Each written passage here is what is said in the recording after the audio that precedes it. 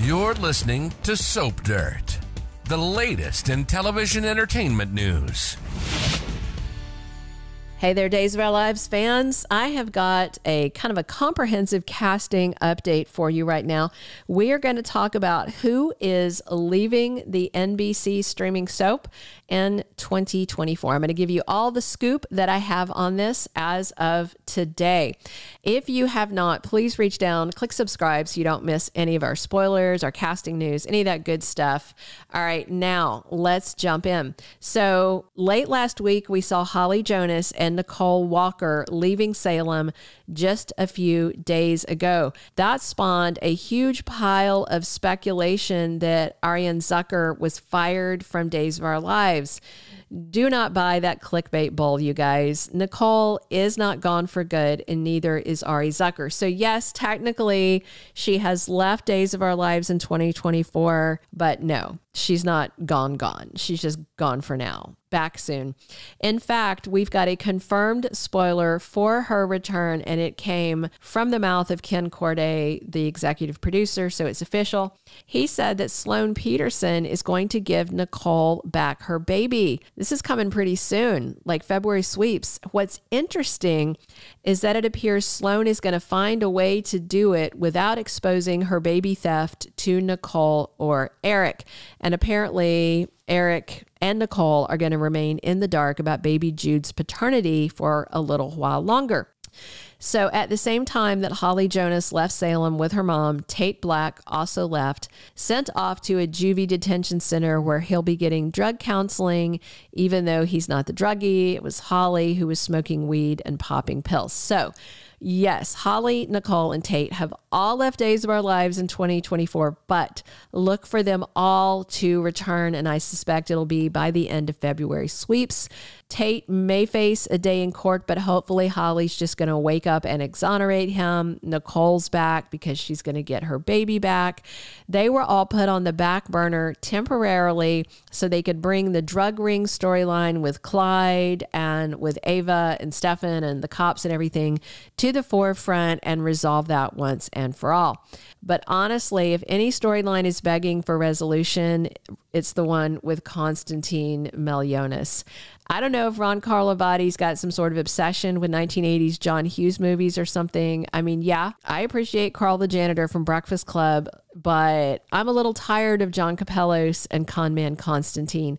It's gone on too long. Can we get him a one way ticket on a Aegean Air back to his home country? I mean, ugh. Unfortunately, on my list of who's leaving in 2024, I do not have an end date yet for Constantine but I do expect him to leave in 2024, but not for a little while longer because the pawn thing is all ramping up. You know, let's hope he's exposed and chased off in February sweeps, but I just doubt it. If they time his exit to align with sweeps, my guess would be May, not February. Fingers crossed for sooner, but also, Steve Burton is done filming. He wrapped in December 2023, late December.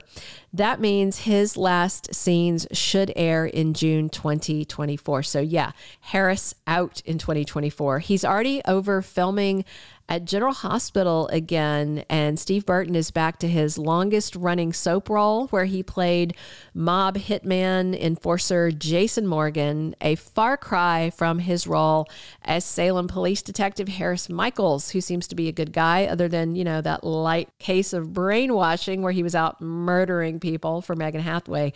That character, that brainwashed character, that's actually a lot like his character over on General Hospital, which makes sense because head writer Ron Carlivati used to be the head writer over on General Hospital, and he did a whole bunch of writing for Jason over the years.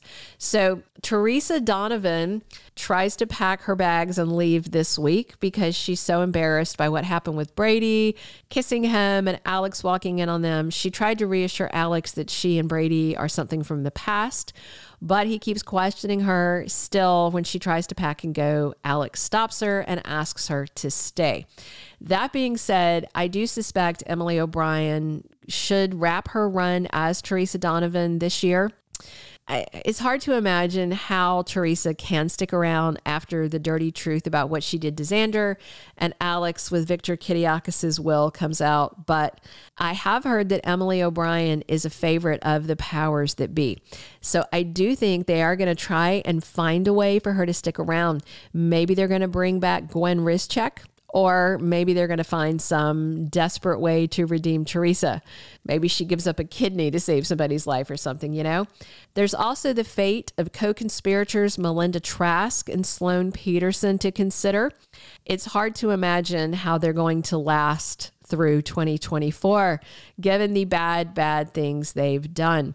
There's a glimmer of hope for Sloan when she comes up with a way to ease her guilt and stop Leo Stark's blackmail. She is going to give back the kiddo initially without admitting any guilt. If you're wondering how that can possibly happen, I don't have time to talk about it in this video, but I did a standalone video explaining how she can pull it off. You can see it on the day's playlist if you scroll down our made page, but I'm also going to drop a link to it at the end of this video so you can watch it if you haven't seen it already. It would definitely work. Even so, I expect Sloan is not going to be a long term part of the character canvas. I do think she can survive the baby give back though. But once Eric Brady finds out she doctored those paternity tests, she is done for. And by the way, Jessica Serfaty, who plays Sloan Petersen, is engaged to a billionaire.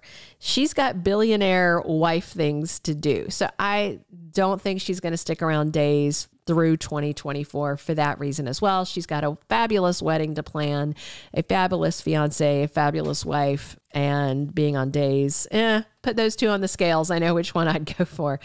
As for Sloan's pal, Melinda Trask, she might stick around, but I kind of doubt it. I feel like when and if Sloan exits, Melinda's going to be packed off too. You know, they might wind up cellmates at Statesville. Then again, Sloan's got ties in the UK, Melinda's got ties in China. Maybe they will both flee overseas when the heat is on. We'll see. We've also got Paulina Price getting that cancer diagnosis this week. But if you're worried if she's going to die, if she's going to exit Salem in 2024, I don't think so. Sarah Horton pointed out that thyroid cancer is very treatable, so don't worry about her. I have a feeling she's going to be around all year long. Lucas Horton is getting out of the infirmary soon, and then he's going to be getting out of prison soon. And actor Brian Dattilo teased that once he's out of Statesville, Lucas goes somewhere worse. He said it's hilarious and out of left field. I have a couple ideas of what he might mean by this, but I'm going to devote a whole video to it because I'm still thinking about it and I think it's worth exploring in its own video. I, I do also think, though, that Brian Dattilo is going to be gone from Days of Our Lives before 2024 closes down. He's going to get out of prison. He's going to have this little story he's talking about. And then I feel like, yeah, he's going to be gone. He's part of that, you know, revolving door of cast that comes and goes. I don't think he's gone forever, but I do think he will leave in 2024. And the last person I want to talk about is the fate of Ava Vitali, especially knowing that Harris is leaving town. All signs point to a Gabby Hernandez recast coming soon. Constant name drops, rumors about who the actress is. Usually, that stuff, when it has legs like that, it comes to fruition. So that means there's likely not any kind of long term prospect for romance between Ava and Stefan. There's this spoiler for this coming week about them both being mm, frustrated in their underpants and maybe something's going to happen with them. But it's really hard to see a future for Ava in Salem once Harris is gone, knowing that Gabby is likely coming back very soon. But there's no confirmation yet on her exit. All right, that's the latest on who all I know is leaving days in 2024 and who I suspect may leave.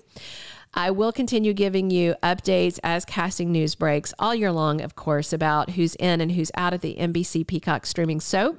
Please click subscribe if you haven't already, and definitely come back soon. Drop your comments on who you're worried about leaving, and let me know what you guys think. I love reading your comments. And be sure and come back because we're here talking days, seven days a week. And as always, it's Belinda from Soap Dirt. Thank you for being a loyal listener. Follow us wherever you get your podcast because you don't want to miss the next episode. Soap Dirt is on all the major podcast platforms, including Apple Podcast, Spotify, iHeartRadio, and more.